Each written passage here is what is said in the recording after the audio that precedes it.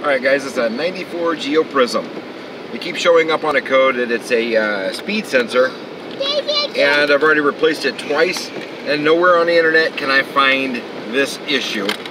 So basically, my speedometer is working fine right now. But it drops off and then I'll get my, uh, my overdrive light on the left. It'll keep flashing. And uh, then my check engine light kicks on. The code it's giving me is a uh, is a speed sensor, and it has nothing to do with the speed sensor. What it is is it's the odometer. Once it starts going, it'll drop off, and then also the uh, mileage stops.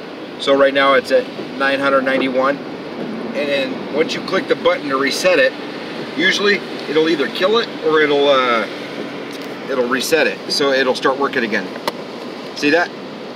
So now, anyways, it'll cut out. Feels like my transmission's falling out.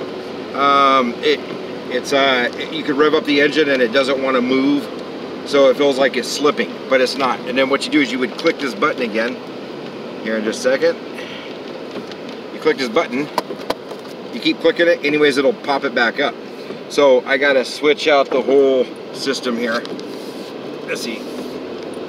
Yeah, so I'm moving and it's still stuck at zero right now. And then let's try to click it again. There we go. So then once it gets up there, the other issue is, is when it hits under 50, 50 miles an hour to 40, anyways, it does this jerk as it's downshifting.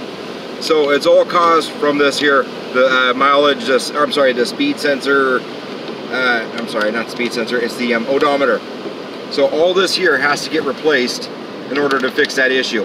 I've looked high and low all through the internet, cannot find the issue for it and everyone's like, oh, this and that, and but this is the issue. It's the, the uh, actual piece that's inside here.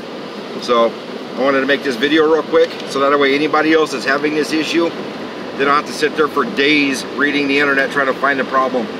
How I came across this problem is uh, I noticed that my mileage stopped even every time that this uh, my needle would drop to zero, and uh, when I clicked it, it reset it, and it just kept popping up. So I'll do it one more time as I'm driving.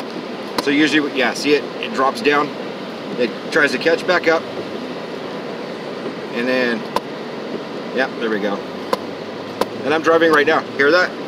Where the motor's revving up because I'm trying to move and it doesn't want to go into gear.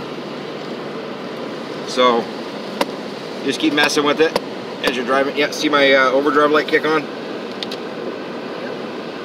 Hold on here. I don't know if you can see it. Yeah, there it is.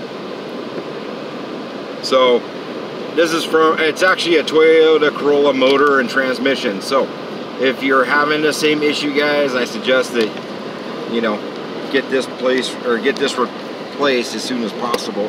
Sorry about my quality guys. I'm trying to drive.